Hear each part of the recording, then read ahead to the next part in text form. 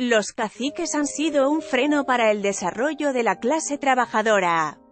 Se necesitan líderes sindicales auténticos que defiendan causas y no se conviertan en verdugos. Lo tengo bien claro, el caciquismo sindical ha generado deterioro en las condiciones de los trabajadores, ha provocado ser cómplice de la eliminación de conquistas, la disminución del poder adquisitivo y ha frenado un desarrollo armónico. Eso tiene que cambiar, los sindicatos son instrumentos de lucha que se deben democratizar y perfeccionar en bien de la clase trabajadora. En entrevista con El Sol de México, Ricardo Monreal Ávila dio su evaluación de los primeros tres meses de trabajo legislativo.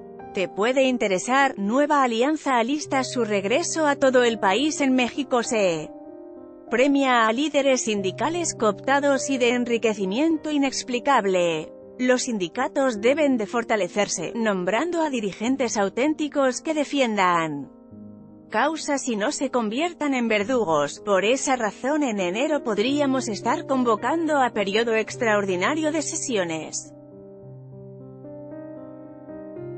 en el que también se contemple a la reforma laboral sociedad con la reforma laboral tendrán que transparentarse los procesos de elección, erradicar los cacicazgos y la corrupción interna en los sindicatos. El 2018, un año para la historia. El presidente es un hombre de Estado y no hubo el catastrofismo que se decía, tampoco se fueron del país aquellos. Si es que ganaba Andrés Manuel López Obrador. Es un proceso de cambio profundo con impulso a la austeridad republicana. La supresión de privilegios, la apertura de los pinos como centro cultural y el trabajar en Palacio Nacional todos los días, una agenda modesta sin tanta seguridad y reducir su salario, desterrar lo malo de este viejo régimen priista y rescatar lo bueno, no se trata de derribar, destruir todo lo que se había construido en el viejo régimen, sería un error, soy de los que piensan que hay que rescatar algunas políticas públicas del pasado que puedan mejorarse y perfeccionarse. Y construir un nuevo régimen sobre cosas buenas.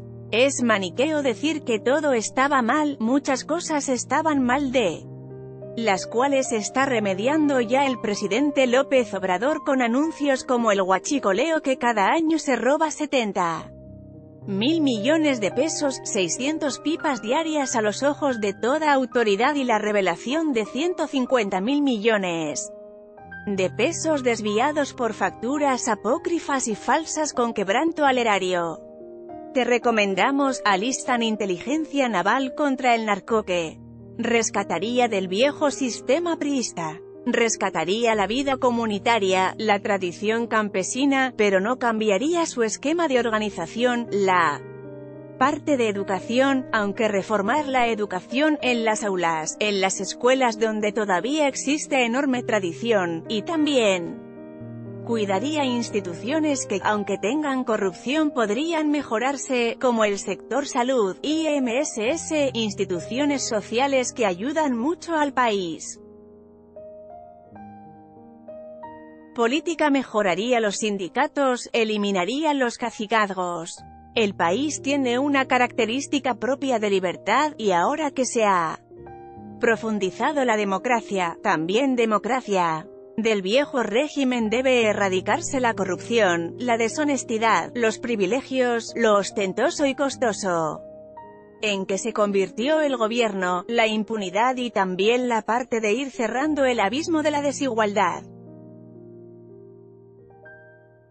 Los altos sueldos de funcionarios con los miserables salarios de los trabajadores. Todo eso tendría que eliminarse como símbolos del viejo régimen. Todas esas lacras de autoritarismo, caciquismo, corrupción, impunidad, injusticia. Esa es la parte que se necesita corregir de fondo. Política, política, sociedad.